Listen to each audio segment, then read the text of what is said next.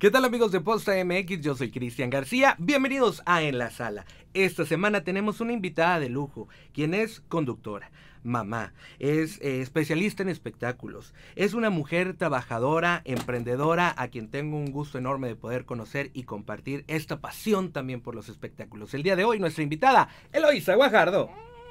Fuerte el aplauso, que se escuche todo el aplauso de nuestra Hoy gente. acostumbrados en este medio, ¿verdad? Ya hace tanto que no los oímos. Gracias por la invitación, Cristian. De veras es para mí este, un honor tener la oportunidad de platicar contigo, que bueno, somos amigos dentro del medio, hemos tenido oportunidad de, de irnos este, afianzando en esta, en esta relación. Y también, este, eh, pues por parte de Posta, de veras que para mí también es im- importante, ¿no? El medio. Claro que sí, estamos trabajando mucho aquí en Posta para poder llevarle a la gente estas historias y darle a conocer no solamente a los personajes, sino también a las personas. Y quiero empezar, Eloisa, porque conozco a Gaby Narváez, que tú también la conoces, y ella me contó una historia de Ay, cuando tú empezaste, empezabas en los medios, empezaste en el área de locales. Sí. ¿Es verdad esto? Sí, digo, debo decir que este, más allá de la periodista de espectáculos, yo soy periodista. Estoy formada dentro de- del periodismo en general, porque para mí es muy importante las bases de una persona que se dedica a esto, porque no solamente se trata del chisme local o el chisme barato que uno puede rescatar de las redes sociales, sino la formación que llevas, ¿no? Y para mí, creo que para mí personalmente sí fue muy importante esta preparación que he tenido a lo largo de tantos años de carrera. Estoy cumpliendo casi más, más de 30 años Wow. dentro de los medios. Y yo empecé, primero empecé hace muchísimos años en el periódico El Nacional Ok, y empecé en cultura. mira. Increíblemente, este, fue gracias a Celso Garza, que hoy es eh, director de Extensión en Cultura dentro de la. Universidad Autónoma, que éramos compañeros de escuela y me invita a trabajar, a, a conocer los medios, el periódico nacional, que ya no existe lamentablemente, pero que ahí fue mi primer acercamiento. Después estuve en el periódico El Norte, que mucha gente eh, recuerda cuando eran las elecciones, convocaban a estudiantes para Ah, sí. estar vigilando las casillas Encuestas y todo en las encuestas. ujú. Entonces yo estuve también ahí, fui parte de este ejército de estudiantes, ¿no? Y poco a poco fui desde las bases conociendo cómo se iba formando un periodista. Y sí, eh, Gaby Narváez me conoce también cuando ya ingreso a Canal 28 a hacer prácticas, empecé contestando teléfonos. Yo contestaba teléfonos en el área de deportes. Y de ahí me fui, fui escalando después, en deportes con el señor Ángel Robles, que yo le agradezco muchísimo lo, lo que aprendí con él, la manera en que se va integrando una noticia en televisión, que es muy diferente a la noticia del periódico, de una revista, del radio. Y ahora la web también, que es la web, completamente distinto. todas, cada una tiene su manera de llegarle al público. Entonces creo que para, para mí, para muchas personas que crecieron eh, en esa época conmigo, es importante la formación. Y, y sí es cierto, yo estaba en locales, a mí me tocó cubrir Nota Roja, me tocó cubrir, cubrir presidentes, me tocó cubrir a los gobernadores, incluso estar detrás de eh, lo que ocurría cuando las marchas de los maestros, aquellas marchas que detuvieron las clases durante mucho tiempo y no por pandemia sino por un problema sindical que habría muy fuerte. Me tocó estar en la protesta de Carlos Salinas de Gortari, aquella en solidaridad. De hecho, yo aparezco en el en el documental este que hicieron de Colosio, porque me tocó también estar con Colosio. Cuando nombran a Colosio candidato, yo estuve ahí precisamente. Y para mí esos momentos los tengo guardados en mi memoria. Tengo algunas fotos, pero los tengo más guardados en mi memoria como algo muy importante para mi carrera. Oye, ¿qué dijiste? Después de todo esto, que vengan los espectáculos y los desaires de los famosos es lo de menos. No, fíjate, no, no, porque mucha gente piensa que los espectáculos son cosa de banal o, o triste, pero la verdad es que si lo analizas bien, o si uno hace la reflexión en su casa, si uno tiene hijos, debe entender qué tan importante es para los hijos de pronto ir a un concierto, ¿no? Ujú. Y yo lo veo así, sí es importante estar informados de la nota diaria, a lo mejor pensarán, ah, qué tontería, pero yo que tengo hijos en este momento, de pronto resulta este, hasta estresante no poder llevar a tu hijo a un concierto, ¿no? O no poderle dar ese premio a, a un hijo. Motivación, es- esa motivación, ¿no? De pronto los espectáculos significan esto. O a mí a veces me ha tocado ver a, a personas que a lo mejor tienen alguna deficiencia o alguna necesidad que llegar a conocer a un artista o que ese artista con el poder de convocatoria que tiene ayude a una persona a salir adelante, conseguir recursos para alguna operación o tal vez hacerle el sueño realidad. Entonces, mira, hasta chinita me pongo porque gracias a Dios he tenido la fortuna de poder ayudar en un poquito a esa felicidad o a ese este momento agradable en la familia de, de ciertas personas, ¿no? Claro, cambiarle la vida a alguien. Tal vez, tal vez, ¿por qué no? Yo lo veo por ese lado, no solamente por el chisme barato, que a lo mejor mucha gente lo ve así. Pues sí es cierto. Pero también el chisme sirve para relajarnos ah, o para ayudarte a, pasar el momento, sobre todo ahora en la pandemia que estamos todos encerrados. ¿Qué haces? Pues te pasas, uno se divierte. Este, lamentablemente así es. Uno, uno es feliz con la desgracia de otros. Así somos. Y, y, el periodismo lleva esa parte también. Siempre tienes que, contar esas tristes historias, a veces alegres, pero a veces también tristes. Oye, ¿no se te ha hecho que ahora no, tenemos más jale?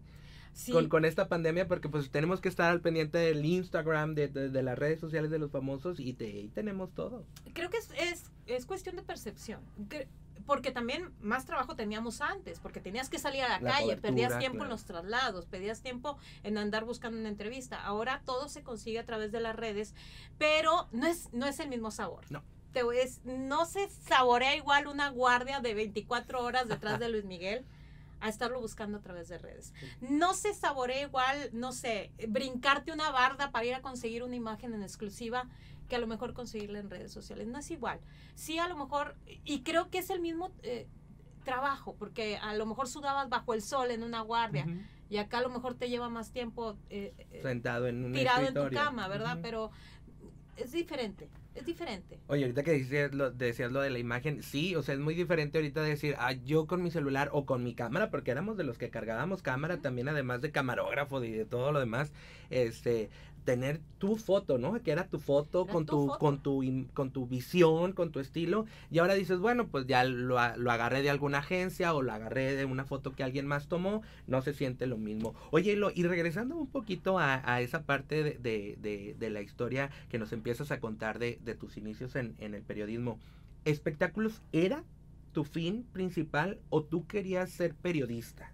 No, ni siquiera quería ser periodista. y, lo he platicado muchas veces. Originalmente yo quería ser veterinaria. Y terminé por angas o mangas, terminé estudiando comunicación. Pero al final de cuentas me enamoré de esta carrera. Me enamoré perdidamente de esta carrera. Yo no sabía si quería ser periodista de nota roja o de espectáculos o de cultura. Eh, a final de cuentas lo que yo quería era escribir, porque a mí siempre me gustó escribir. Este, me gustaba mucho leer. Yo era una persona que me, me, comía las enciclopedias completas, sobre todo las enciclopedias de animales. Por eso te decía interés, claro. No, no, yo tengo enciclopedias, todas las enciclopedias que vendían puerta por puerta, mi mamá me las compraba porque yo se las pedía y las tengo. Tengo todavía todas, el, todas esas enciclopedias este, comunes en, en, en la vida de los regiomontanos, yo las tengo y todavía las tengo y las cuido y las quiero y se las pongo a mi hija porque me gustaba mucho leer. Y siempre soñé con trabajar en una revista, que finalmente se me concedió. Y siempre, y siempre he tenido la, el interés de publicar un libro. Es, tengo una novela que, que, tengo a medias, que he tratado de escribir. Ahora en la pandemia me da mucho más tiempo de desarrollarla, pero no completamente.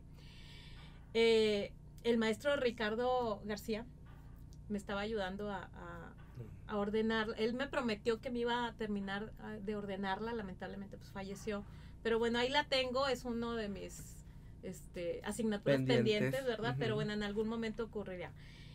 No, nunca supe, nunca, nunca tenía en mente qué, pero sí sabía que quería escribir. Y cuando llegan los espectáculos a tus manos o cuando llegas a esta sección, eh, ¿cuál fue como ese propósito que Eloísa Guajardo se dijo a sí misma? Voy a hacer esto. Digo, porque todos en algún momento, licenciados, abogados, eh, comunicólogos, veterinarios, médicos y demás, de repente llegas a, algún, alguna barrera, como nosotros le llamamos, a nuestra trinchera y decimos, mi propósito va a ser este. ¿Cuál, cuál fue ese? Mi propósito era que me la fueran a dar a mí. Porque siempre, y te lo voy a decir, y, y, digo, te estoy siendo lo más honesta posible, siempre me veían como el patito feo porque yo trabajaba para Canal 28. Yo trabajaba en locales, como tú, como te lo platicó Gaby, le mando un beso. Y una amiga que era productora, Mayita Saucedo, le ofrecieron o le dieron a trabajar un proyecto con Ceci Gutiérrez, Ujú. 7x4 en la noche, que 7x4 es 28, ¿verdad? De Canal 28. Le dan este proyecto en un programa de revista nocturno o un, un late night show y necesitaba meterle espectáculos. Me dijo, ándale, sácame de agencias, ¿no? Entonces yo le sacaba de agencias, o sea, los grababa en off y ya. Y entonces de poquito me decía, ay, mira, ahí esta conferencia, vamos. Ah, pues vamos. Y como éramos comadres, yo no tenía nada que hacer, pues vamos. Y así empezamos yendo a las conferencias. Pero éramos como los patitos feos, los apestados de que, ahí vienen las de 28. Bueno, ahí déjalas, ahí en la esquinita. Y todos los promotores que hoy por hoy existen me recuerdan perfecto, porque yo llegaba, yo me sentaba. Y entonces cuando iban las entrevistas en exclusivas, pues nadie me las quería dar, pero yo me ponía. Ay, dámela, y dámela, y dámela, y dámela, y dámela hasta que no me la daban. Pero a final de cuentas, a mí me costaba tanto conseguir esas entrevistas. Y a veces me hacía guardas, guardias de horas para que me dieran una entrevista. Que me esmeraba mucho en, en el trabajo final, en la, en la nota. A mí no, yo no sacaba una nota por sacarla.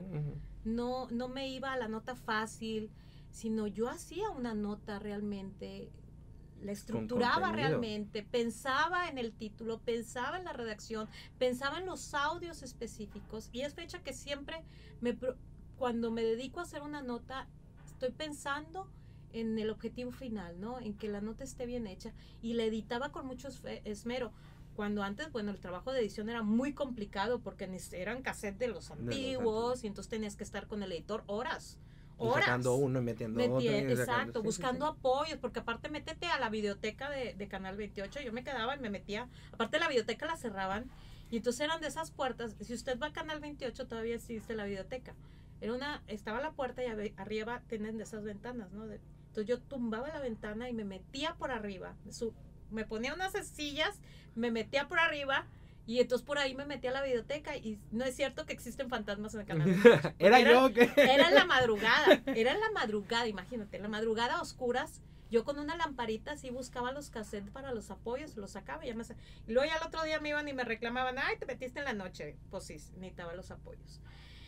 Entonces que se empezaron a dar cuenta que, que, que esta chava traía Se algo, ¿no? podía, claro. Entonces me empezaban a dar más, más y más y más oportunidad. Entiéndeme que antes yo veía entrar, por ejemplo, un Juan Ramón. O sea, pásale. Y, y yo, yo, no, al final. O- Aguántanos. O veía todas las chavitas nuevas, ¿no? De Televisa que entraban, ¿no? Con, con- pues con toda la mano, ¿no? Ellas entraban. Aparte llegaban, ya sabes, en superproducción, súper arregladas. Y pues yo iba con mis chanclitas, ¿no? Pues no, no, pues no, yo no tenía recursos. Yo vivía sola, yo tenía un departamento con Zoraida Rodríguez, que le mando un beso, vivía en el Mm, barrio antiguo. Y entonces me iba caminando, cruzaba el, el- el El río, río Santa Santa Catarina a veces a Catarina. pie, porque el, el sueldo del 28 no te alcanzaba para coche ni para taxi. Cruzaba el Santa Catarina a pie hasta Canal 28 subía, llegaba toda sudada obviamente, y así trabajaba. Y a veces por eso no me regresaba y me quedaba trabajando porque regresate a pie, hasta que alguien te daba ride, ¿no? Ujú. Entonces, este, y así fue, y yo lo disfrutaba mm, horrores, lo disfrutaba maravillosamente. Para mí fue la mejor época de mi vida y cuando empecé mi carrera yo aprendí muchísimo. Y esas tablas obviamente pues fueron útiles al momento en que llegas a la empresa donde te afianzas. ¿Sientes que fue en, en multimedios donde afianzaste a Eloísa Guajardo? No, yo nunca he dejado de crecer. Creo que uno de mis propósitos es nunca dejar de crecer. Cuando llegó a Canal 20, cuando estaba en el Canal 28, en algún momento Mario Gámez vio mi trabajo y se dio cuenta que esta chava trae algo y me invita a trabajar a Canal a Multimedios. Él estaba ya con el programa El Matutino, me invita a trabajar y me voy. Era la, la única persona que veía espectáculos, entonces era el mismo proceso. Tenía que hacer yo mi propio archivo. Tenían un archivo, pero pues que era de, de las cintas aquellas que yo ya no podía, que ya no se usaban, entonces que tenía yo integrar mi propio archivo. Y entonces era volver a empezar y igual con la misma pasión lo empecé a hacer, ¿no? Y empecé a conocer más gente. Obviamente, pues ya me daban más chance porque pues ya estabas en multimedia, Claro. ya te daban más chance. Y entonces poco a poco empecé a escalar hasta convertirme en la, la que le entregaban primero las entrevistas, ¿no? Hasta que ya me daban mano, ¿no? Este, pero me las ganaba, no me las daban, me las ganaba. Yo le hablaba, ya sabía que había gira, yo le hablaba desde antes, no le hablaba de aquí, le hablaba de México. Oye, quiero la entrevista. Yo sé que viene este artista. Quiero la entrevista. Y diario, diario, diario, diario. Hasta que ya sabía que venía aquí y que el promotor ya sabía que de México tenía la instrucción de que me tenía que dar la entrevista. Y así me las iba ganando. O me iba ganando al artista mismo.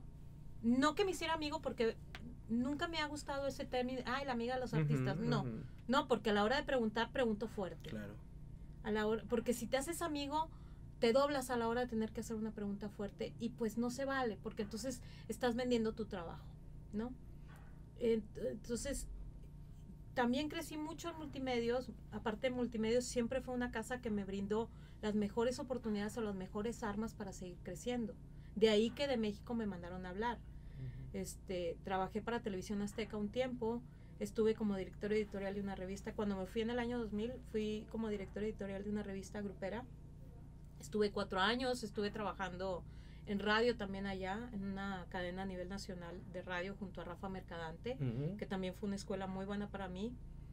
Este, Grupo Firmeza, Firmeza, ¿verdad? Es Grupo Firmeza con el que estuve trabajando cuatro años, trabajé también, estuve trabajando en, en varios lugares allá, de hecho me mandaron a hablar de hoy. Gracias a Misada Mohamed cuando yo llego a la Ciudad de México, tenía muy poco, acababa yo de firmar con la revista como director editorial y me mandan a hablar, el Borrego Nava me manda a hablar para hoy y me invita a trabajar en, el, en contenidos para, para hoy por recomendación de Misada. Pero yo acababa de firmar en la revista, acababa de firmar dos días antes en la revista. Y la verdad también el tema de lealtad para mí es muy importante. Entonces tuve que darle las gracias luego mucha gente me dice, no te arrepientes. No es que me arrepienta, a final de cuentas así tenían que ser las cosas. La lealtad para mí es muy importante. Yo le agradezco infinitamente a Misada esa confianza que tuvo en mí para haberme recomendado a esos niveles, para ser la, la, encargada de contenidos del programa hoy y para que el borrego eso haya fijado en mí y me haya ofrecido ese puesto, pues no es cualquier cosa, ¿no? Pero acá a final de cuentas no me arrepiento porque la revista también me, divertí y viajé muchísimo, que para mí era muy importante viajar, conocer, tener contactos, hice amistades increíbles y creo, y creo que eso también me sirvió para seguir avanzando. Cuando me regreso a la Ciudad de México y vuelvo, me vuelven a invitar, y, fíjate, yo me regresé, no, no, yo no tenía trabajo cuando me regresé de México. Ya me cansé, llegó un momento que dije, ah, ya, ya me voy a regresar, ya, ya me cansé, porque era mucho También me reventé muchísimo en la Ciudad de México, como tenía muchos amigos. Claro. Y, y era soltera, y allá para todos lados jalas, y te pagan muy bien. Pues entonces, el reventón era cualquier momento y aparte nosotros que estamos acostumbrados a estar de noche siempre. yo vivía de noche, prácticamente, pero llega pero aparte también soy muy leal con mis amigas. Yo tenía un grupo de amigas acá en Monterrey que todos todos en el medio las conocen, porque para todos lados jalaban conmigo. Entonces ya me harté y me regresé. Cuando venía en la carretera de regreso, me habla Mauricio Latorre, me dice, cuando llegues a Monterrey vienes a verme. Ok. Pero también en el mismo trayecto me habla Mario Gámez y me dice, cuando llegues a Monterrey vienes a verme. Y fue cuestión de horas, y fue cuestión de casualidad. Cuando llego a Monterrey, al otro día voy a multimedios y al primero que me encuentro es a Mario. Creo que Mauricio se enojó, porque primero fui a ver a Mario. Porque estaban pensando en lo mismo. En lo mismo, ¿no? Y Mario me reintegra. Este, cuando yo me fui a México, creo que se quedó a Ivonne Álvarez en mi lugar. Y en ese momento creo que Ivonne Álvarez, su papá, la había llamado para irse a integrar a la política. Ah, no tenía a quien poner. Y entonces me pide que me quede. Y pues me quedé otra vez, ¿no? pero ya le dije, pues dame algo más, ¿verdad? no, me, no me mandes a lo mismo. Ya tenían, ya tenía reporteros, creo que ya estaba Félix, ya estaban dos, no recuerdo quién estaba. No recuerdo quién estaba en ese momento. Pero me vuelvo a integrar a multimedios. Y ya, y, ahí es, este, obviamente, un, segundo aire donde ya venías con más experiencia, que ya venías con otra visión, porque la Ciudad de México también te da otra visión completamente. ¿Y qué fue eh, lo que pensaste? ¿Pensaste que, pues se va a escuchar muy dramático esto, pero que ibas a terminar ahí en multimedios ya para siempre? ¿O, o si tenías como ese punto de algún día se puede terminar? No, porque como te digo, para mí siempre es importante moverte porque sí es cierto, cuando me fui a la Ciudad de México crecí enormemente. Pero cuando yo estaba en la Ciudad de México, yo mis planes era irme a trabajar a Estados Unidos.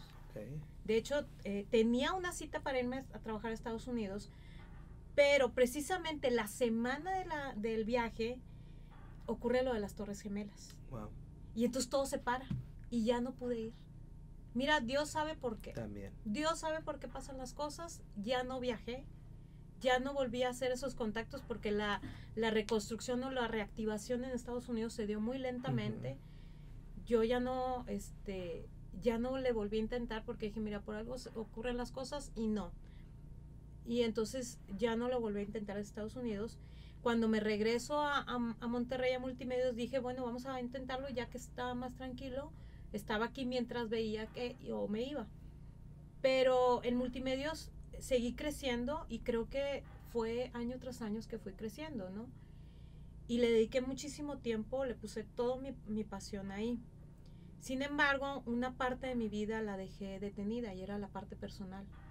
Yo siempre quise ser mamá eh, y no se me dio, perdí dos bebés eh, y, y, la tenía, ya estaba yo por cumplir 40 años.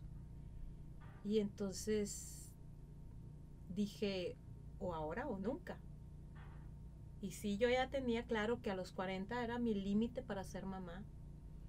Y lo hablé con mis jefes y se los dije, yo este año o me embarazo o me embarazo. Ellos estaban de acuerdo porque estaban claros de que durante muchos años yo dediqué mi vida a la empresa. De hecho, cuando yo regresé, había un, directivo que ya no está, falleció, que me dijo, regresas pero no te vayas a embarazar. Es, una, es una triste ley, ¿no, Elo? En, en, en, el, en la comunicación para las mujeres. En esa época, yo creo que ahorita no. Ya no.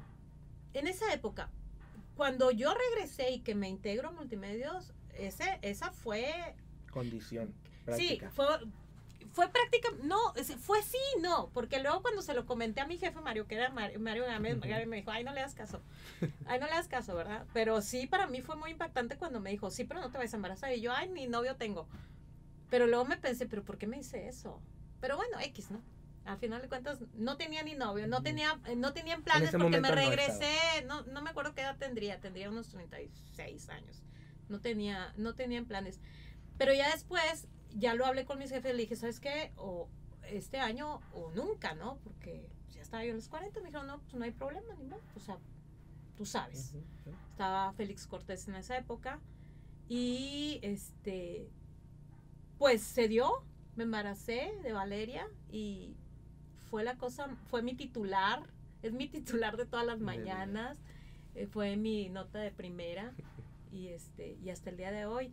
Sin embargo, la maternidad es muy complicada en este trabajo porque obviamente yo en multimedios trabajaba de las 9 de la mañana, no tenía hora de salida, no tenía hora de salida, aun y cuando la empresa se portó maravillosamente conmigo, porque yo pude descansar más de 40 días. Yo estuve casi tres meses de maternidad.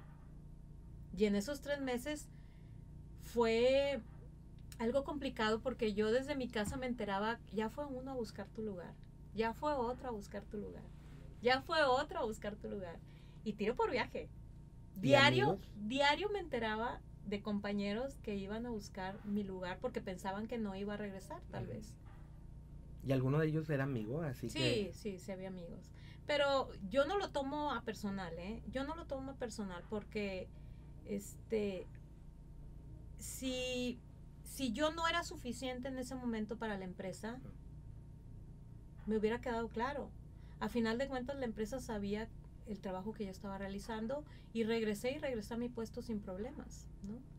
Entonces, este, por ahí yo me sentía en cierto modo tranquila. Si te llegas, si te llegas a friquear porque estás pasando, estás eh, lidiando entre la maternidad, entre muchas cosas, Lo profesional, ¿no? Ajá, estás lidiando entre muchas cosas y la verdad es que en un momento decidí dejarlo de lado eh, porque estaba dedicada a mi bebé, a algo que yo no conocía, aparte soy mamá soltera, tenía que dedicar, tenía que regalármelo, ¿no? Me lo debía.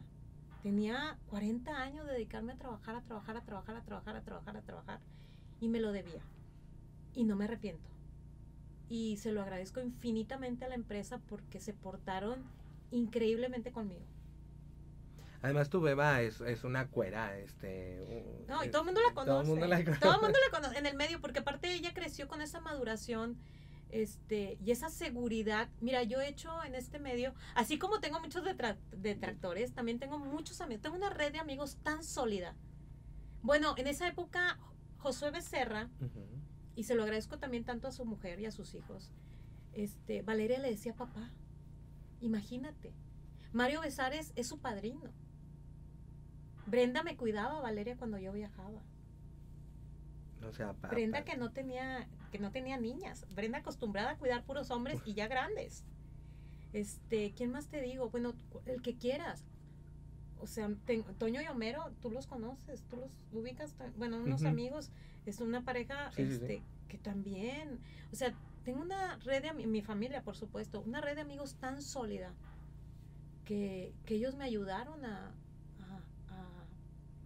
a- sopesar mamá, ese, ese momento. a ser mamá claro. en ese momento porque cuando regreso obviamente el trabajo se me viene de golpe y, y tenía una bebé entonces tenía que malabarear en eso entonces gracias a eso aparte también tenía una guardería ay encontré una guardería maravillosa de las 9 de la mañana hasta las 9 de la noche entonces yo me iba viajaba a México a hacer mis 15 minutos de favor y me regresaba y la recogía este y así Oye, Elo, y ahorita que nos abriste un poquito tu corazón, que nos, abri- nos has estado abriendo tu corazón, pero en ese detalle, eh, ¿cómo fue para ti esas dos pérdidas? Esos dos, esos dos bebés. Pues muy difícil. Este, en ese momento fue como choqueante, pero no lo asimilas hasta años después. No, yo no, de hecho aquí tengo, me mandé a hacer un tatuaje. Cuando empezó, empiezo a trabajar extraño mucho a mi hija, mucho. Me llevaba yo la ropita de ella para olerla en, en los vuelos o en los viajes, para olerla. Y entonces, durante muchos años, este César Ritual, me decía, ándale, te voy a tatuar. Porque pues yo le hacía los reportajes con los artistas. Te voy a tatuar y te voy a tatuar. Y no, no. Yo no, no. El día que tenga yo algo significativo, verdaderamente significativo para tatuarme, lo voy a hacer.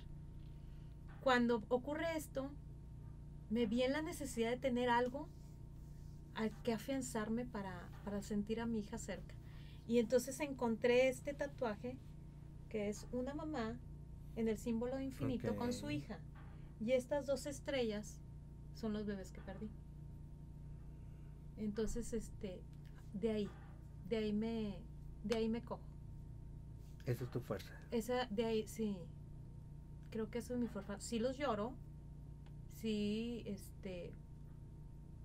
Nunca supe por qué. Pero, pues, ni modo. Digo, Dios sabe por qué. Claro. Al- No era el momento, tal vez, no era el tiempo. Y, y después lo entendí, porque cuando decido embarazarme de Valeria, fue la primera. Fue la primera. Eh, eh, ya estaba destinado. Fue la primera. Valeria, ¿ahorita cuántos años tiene? Casi 10. Casi 10.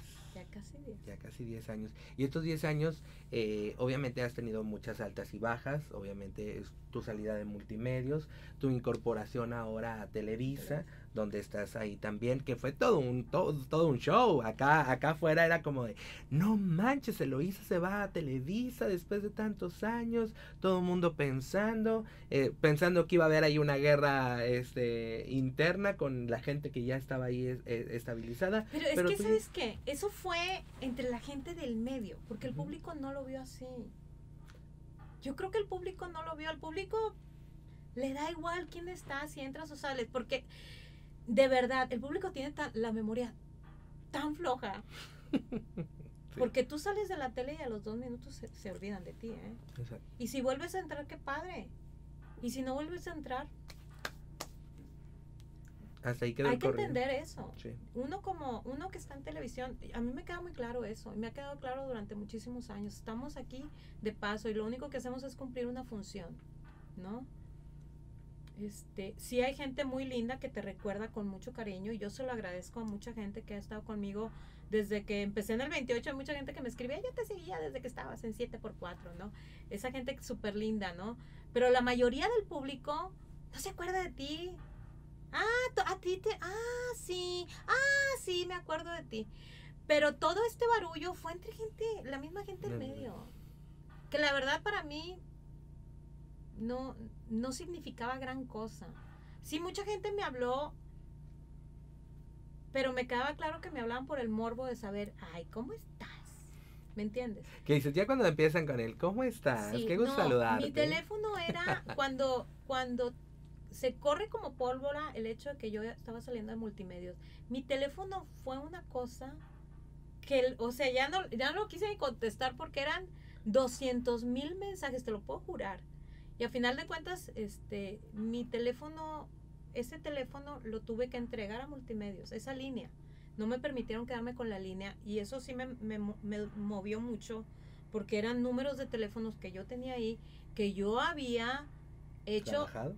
trabajado durante 15 años y que se los dejaron a, a no sé, no sé quién. ¿A quién se y qué quedado con fácil, esa ¿no? línea? Claro. Y qué fácil, ¿verdad? Porque pues, eran, eran teléfonos personales de muchas figuras.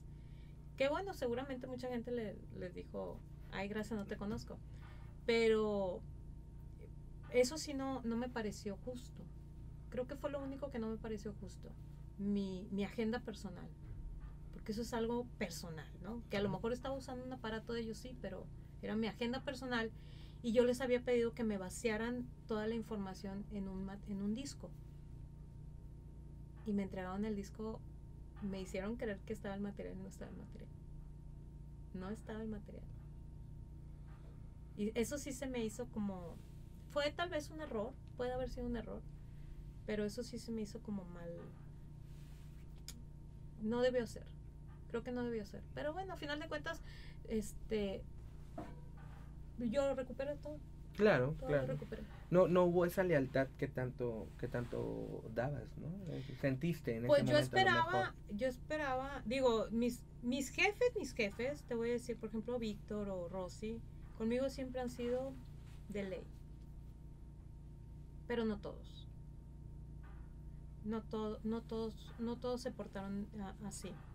Pero pues a final de cuentas, cada quien carga en su mochila lo que quiere cargar, ¿no? Y eh, yo no, no guardo rencores, no... Hasta que no te toca te das cuenta. Claro. Dices, ay, pero yo hice lo mismo. ¿Hay algo de lo que se arrepiente en todos estos años se lo hizo Guajardo? No. Profesionalmente, ¿no? Profesionalmente. Profesionalmente, tal vez no haberme quedado en hoy. No, no haber este, este, que no, ido. no creo, no sé, no, no creo. No creo porque todo, todo, todo me llevó a, un- a lo que soy hoy. Todo me ha llevado a lo que soy hoy. Entonces, no, no podría arrepentirme. No, yo creo que volvería a hacer igual las cosas. Este. Porque a lo mejor me pude haber arrepentido de no haber estudiado veterinaria. Me pude haber arrepentido de, de- de embarazarme, me pude haber arrepentido de contestar teléfono en el 28 cuando me lo ofrecieron. ¿no? Me pude haber arrepentido de muchas cosas, pero no sería, la historia sería completamente distinta. Y lo que soy hoy me gusta, volteo para atrás y me gusta lo que veo. Esa historia, ese legado que has dejado. Yo no sé si legado, mucha gente me dice, ay, ese legado. Pues no, no es legado. Mucha gente me dice, nunca escribirías un libro. Con... Pues no, ni me acuerdo. No me acu- esto- Tengo una memoria de perro. Muy mala. Tengo una memoria muy mala. A mí si no te sientas conmigo, ay, ¿te acuerdas cuando? Ay, sí es cierto. Entonces es cuando me empiezo a acordar. Pero si yo no lo veo, no me lo, no me acuerdo. Hay muchas cosas de las que no me acuerdo, lamentablemente. Tengo muy mala memoria. Oye, y seguramente esta mala memoria también eh, te, la, te, te la has forjado tú o te la has hecho tú, porque de repente llega mucha gente y empieza a atacar sin saber, sin conocer, solamente por lo que le dicen. Y hace un tiempo surgieron comentarios de gente que decía que tú como jefa, eh, súper exigente y demás, y lo tuvimos en una plática privada, Ah, vía sí, telefónica, este, que yo te hablé con toda la confianza y me dijiste, ¿sabes qué? La verdad es que la gente no quiere aprender a trabajar y eso es algo que hoy vemos que es lo que te ha movido y lo que te ha puesto en el lugar donde estás, el saber trabajar y el tener esa tenacidad. Sí, mira, este, yo lamento mucho la gente que, que a lo mejor cuestiona mi manera de trabajar. Pues es que cada quien trabaja como, como puede o como quiere, ¿no?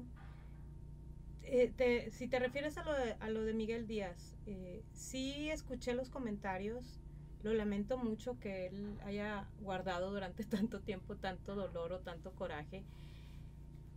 Pero así como él, como tengo detractores, tengo gente que puede hablar muy bien de mí y yo me siento orgullosa de esa gente que logró eh, ser una persona de éxito, este, con las cosas que yo, con lo poquito lo mucho que yo les llegué a enseñar.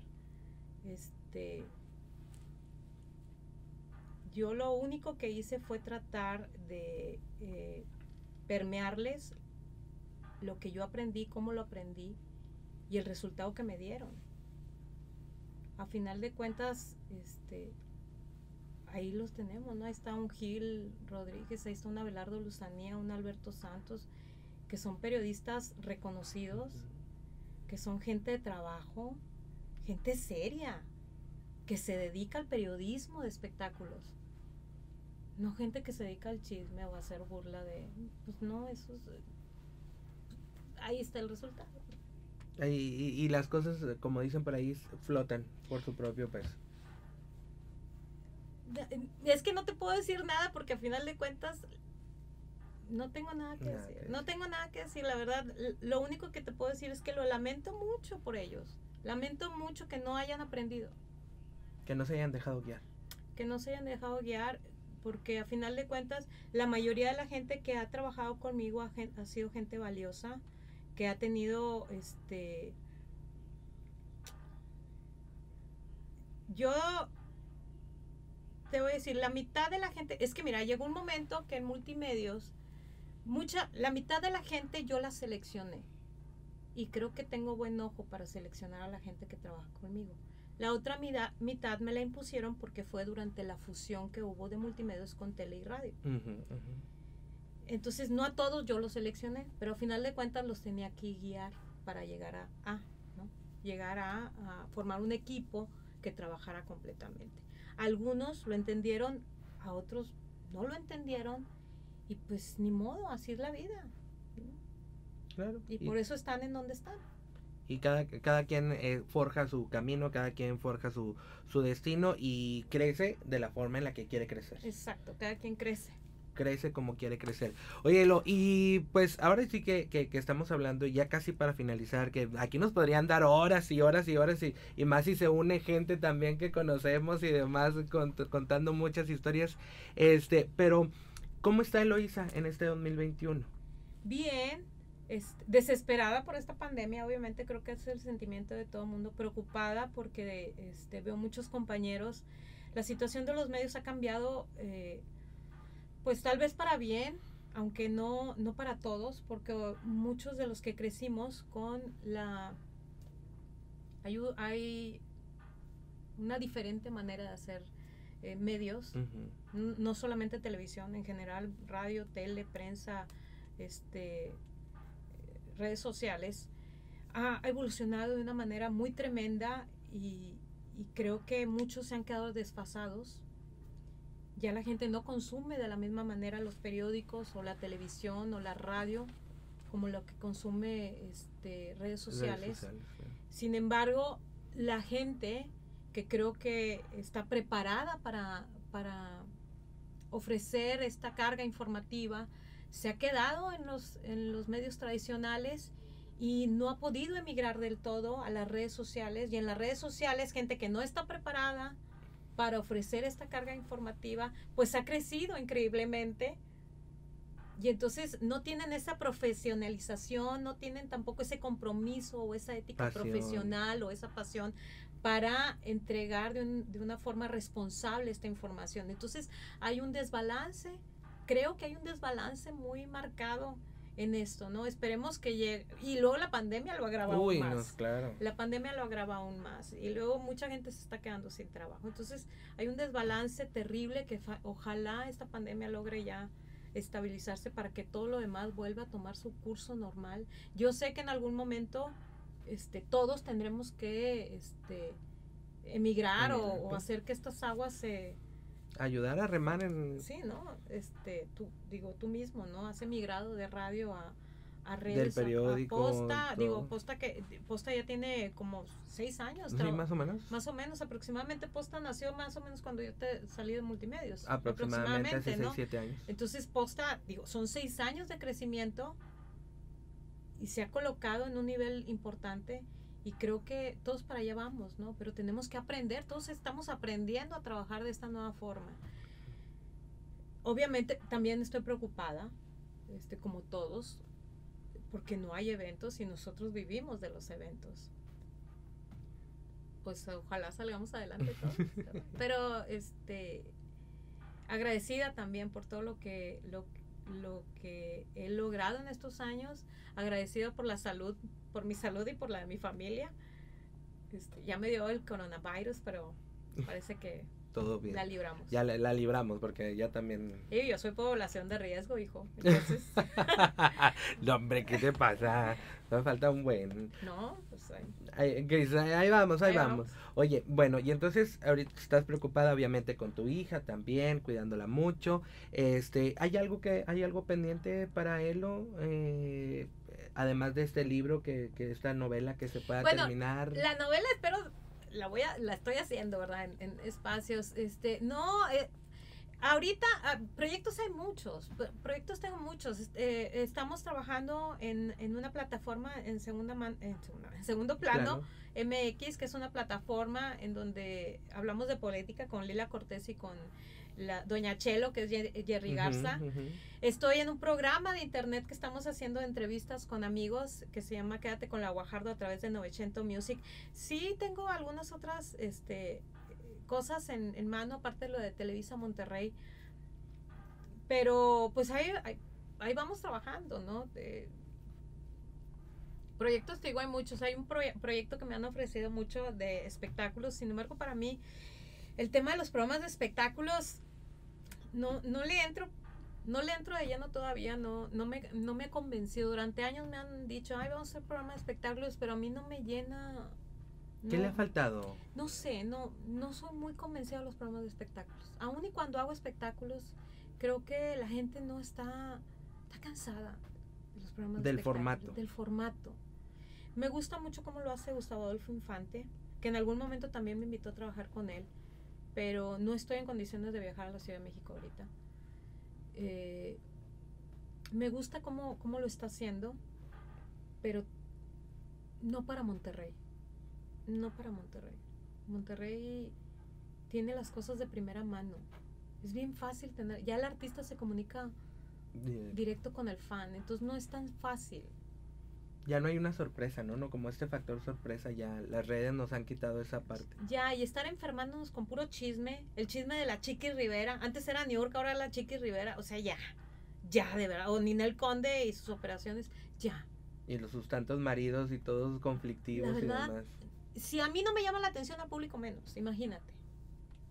Entonces, no, yo no soy muy, no estoy muy casada con eso. Tendría que analizarlo mucho. Otro formato completamente diferente. No sé, no, no sé, no soy muy convencida, no sé. Pero por mientras te disfrutamos en Monterrey al día. Estamos en Monterrey al día. En Quédate con la Guajardo son todos los jueves 8.30 de la noche por 900 Music o mis redes ahí me encuentran. O también el programa de ellas que es a través de segundo plano.